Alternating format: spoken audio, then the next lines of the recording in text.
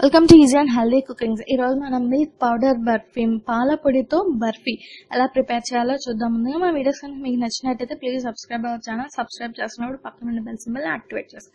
కావాల్సిన ఇంగ్రీడియంట్స్ పాలు పాల పొడి పంచదార నెయ్యి అండ్ ఇక్కడ వచ్చేసి పిస్తా అండి. పిస్తా వచ్చేసి గార్నిష్ కోసం ఇది మీకు ఆప్షనల్ అండి. నెక్స్ట్ మన ప్రాసెస్లోకి వెళ్దాం. ఫస్ట్ స్టవ్ ఆన్ చేసుకొని కరాయి పెట్టుకొని దీంట్లో మనం two to three spoons of నెయ్యి వేద్దామండి.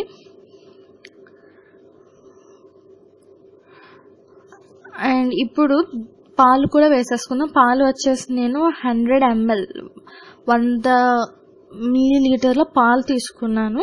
అండ్ ఇది కొద్దిగా కాగాలి. It's not of about boil boiling మరగడం అలా ఏం అవసరం లేదు. జస్ట్ కాగితే చాలు. అది కొద్దిగా కాగాక ఇప్పుడు నేను దీంట్లో పాల పొడి వేస్తున్నాను. ఈ పాలపడి వచ్చేసి రెండు రెండు వందల గ్రాములు two hundred grams of milk powder నేను ఇక్కడ యాడ్ చేస్తున్నాను. ఇప్పుడు ఈ మిల్క్ పౌడర్ని నెమ్మదిగా ఈ మిల్క్ అంతట్లో కూడా మిక్స్ చేయాలి.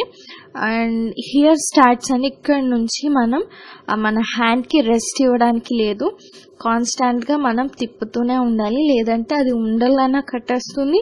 లేదు అంటే కనుక అడుగన్నా అంటుకుపోతుంది. సో మనం కాన్స్టాంట్గా తిప్పుతూనే ఉండాలి.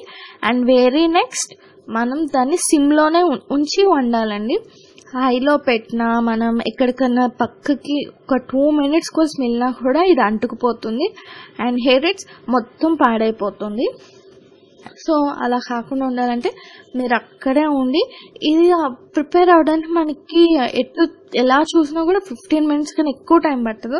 సో మీరు లీజర్గా ఉన్నప్పుడు ఆ ఫిఫ్టీన్ మినిట్స్ టైం దీనికి కేటాయించి ప్రిపేర్ చేసుకోండి అండ్ ఇక్కడ ఇది వచ్చేసి బాగా మిక్స్ అయిపోయింది పాలలో. ఇప్పుడు నేను దీంట్లో పంచదార వేస్తున్నాను. హండ్రెడ్ గ్రామ్స్ ఆఫ్ షుగర్ నేను ఇక్కడ యాడ్ చేశాను. అండ్ పంచదార మనం కొద్దిగా తక్కువ వేసుకోవాలి బికాజ్ పాల పొడిలో ఆల్రెడీ స్వీట్నెస్ ఉంటుంది మనకి. సో కొంచెం పంచదార తక్కువ వేసుకోండి. అండ్ హియర్ ఇట్స్ ఇక్కడ ఇప్పుడు నుంచి ఇది మనం కాన్స్టెంట్గా తిప్పుతూనే ఉండాలి. అండ్ ఇది బాగా దగ్గర అవ్వాలి. దగ్గరేంత వరకు మనం ఇలా తిప్పుతూనే ఉండాలి. అండ్ దట్ ఇది సిమ్లో పెట్టే చేయాలండి. హైలో అస్సలు పెట్టొద్దు.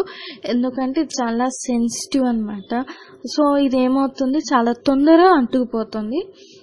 సో అలా అవ్వకుండా మనం చేసిన శ్రమ అంతా పాడైపోకుండా ఉండాలి అంటే మనం దాని దగ్గర ఉండి తిప్పుతూనే ఉండాలి. అండ్ కొద్దిగా థిక్ అయింది. అండ్ ఇది ఇక్కడి నుంచి ఇంకా థిక్ అవ్వాలి. అంచులకి అంతా వదిలేయాలన్నమాట అండి. ఫుల్గా ప్రిపేర్ అయిపోయింది. అనడానికి ది బెస్ట్ సైన్ ఏంటి అంటే అంచులంతా వదిలేస్తుంది.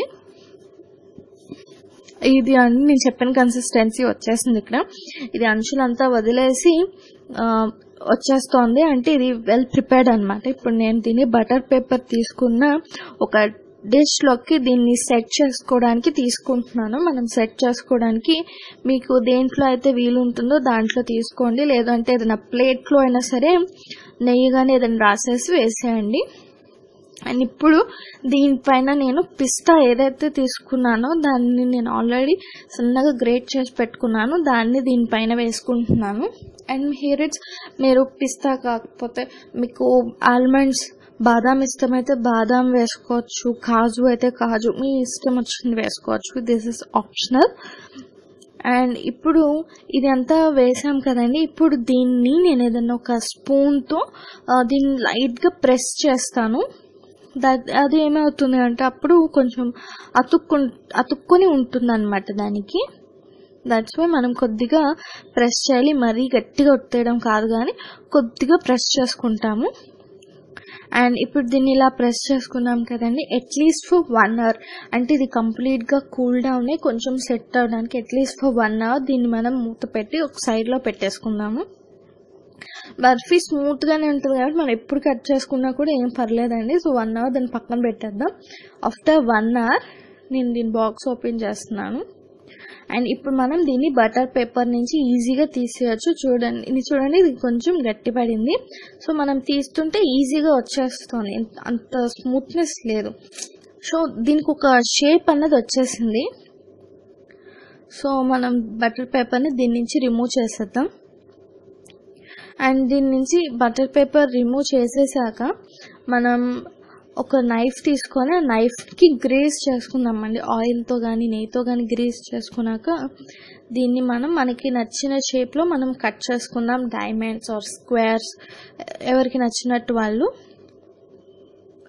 అండ్ హెయిరెట్స్ మనం ఎప్పుడైతే షేప్స్ మనం కట్ చేసేసుకున్నామో ఇట్స్ రెడీ టు సర్వ్ అన్నమాట. మనం దీన్ని డిష్లో కలెక్ట్ చేసేసుకొని సర్వ్ చేయడానికి రెడీ చేసేద్దాం. అండ్ మన మిల్క్ పౌడర్ బర్ఫీ అనేది ప్రిపేర్ అయిపోయిందండి. ఇది టేస్ట్లో చాలా బాగుంటుంది. మనం బయట దొరికేదానికన్నా ఇది డబుల్ ఆఫ్ టేస్ట్ అనమాట బికాజ్ వాళ్ళు బయట వాడే ప్రొడక్ట్స్ కన్నా మనం ఆబ్వియస్లీ మనం ది బేస్ ప్రొడక్ట్సే వాడతాము. సో వాళ్ళకి మనకి కంపారిజనే ఉండదు.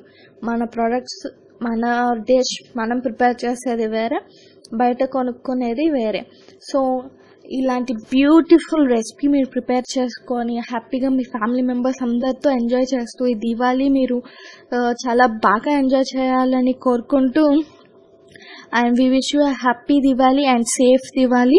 So మా ఛానల్ కనుక మీకు నచ్చినట్టయితే please subscribe our channel and now you are in Facebook W W dot Facebook dot com slash healthy cookings and please follow us on Facebook and thanks for watching